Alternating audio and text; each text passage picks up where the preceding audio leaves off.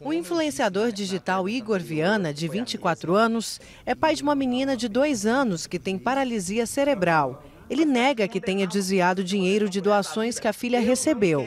Todas as pessoas que produzem conteúdo com pessoas com deficiência na internet são atacadas e suspeitas de exploração, de abuso, de agressão, e isso é uma vergonha para a nossa sociedade. As pessoas veem os pais de quem tem deficiência, de quem tem transtornos psicológicos e etc., veem como criminosos. Isso é uma vergonha para a nossa sociedade. Em mensagens enviadas para amigos, Igor teria dito que usou o dinheiro doado para a menina para comprar um carro. Neste áudio, ele teria confirmado as denúncias. Cara, assim, eu não considero que eu desviei o dinheiro, até porque as pessoas mandavam para minha conta, né? Minha filha não tem Pix. Então, se eles foram trouxas, a culpa não é minha. Eu não sou obrigado a usar o dinheiro que eles mandam especificamente com a minha filha. Entendeu? eu também tenho necessidades de serem supridas, cara. Eu também sou um ser humano, saca? De acordo com a delegada do caso, o pai e a mãe da menina estão sendo investigados. Nenhum dos dois, nem o pai nem a mãe, tem renda, né? Eles vivem exclusivamente da, da renda da produção de conteúdo em torno da, da condição de deficiente da filha. Então, toda a renda dele vem do conteúdo que eles é, produzem envolvendo a filha. Os dois teriam apenas um relacionamento rápido e a criança vivia na casa da mãe, apesar de estar sempre com o pai.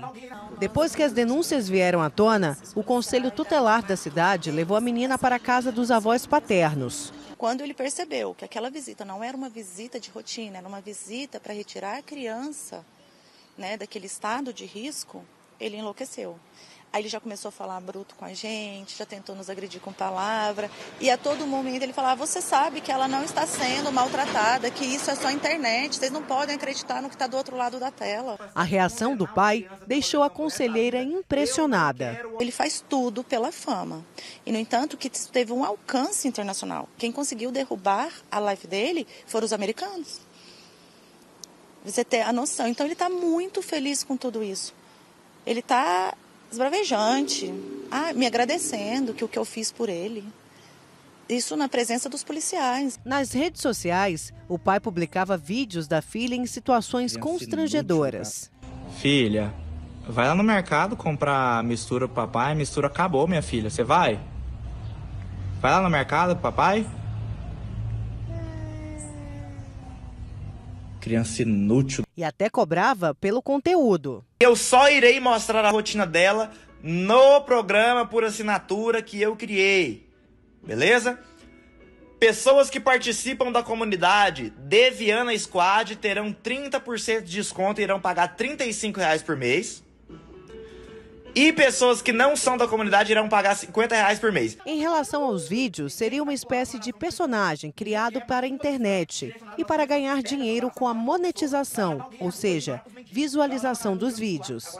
Eu personifico um pai que tem uma criança com deficiência, mas um pai que vê a filha como um peso, como uma cruz a ser carregada, como algo que tipo só atrapalha a vida dele. Naquele vídeo eu personifico essa persona, mas eu não sou essa pessoa. Eu sou o Igor de Oliveira Viana, pai da que sofreu negligência médica e nasceu com paralisia cerebral por conta de negligência médica. Ponto. O pai e a mãe da menina podem ser indiciados por maus tratos, desvio de dinheiro, discriminação, estelionato e constrangimento de criança. Que ela foi omissa, né? Permitiu que o pai publicasse aquele tipo de conteúdo porque gerava é, benefício para ela também. Mas quem praticou a conduta de forma direta, ativa, foi o pai.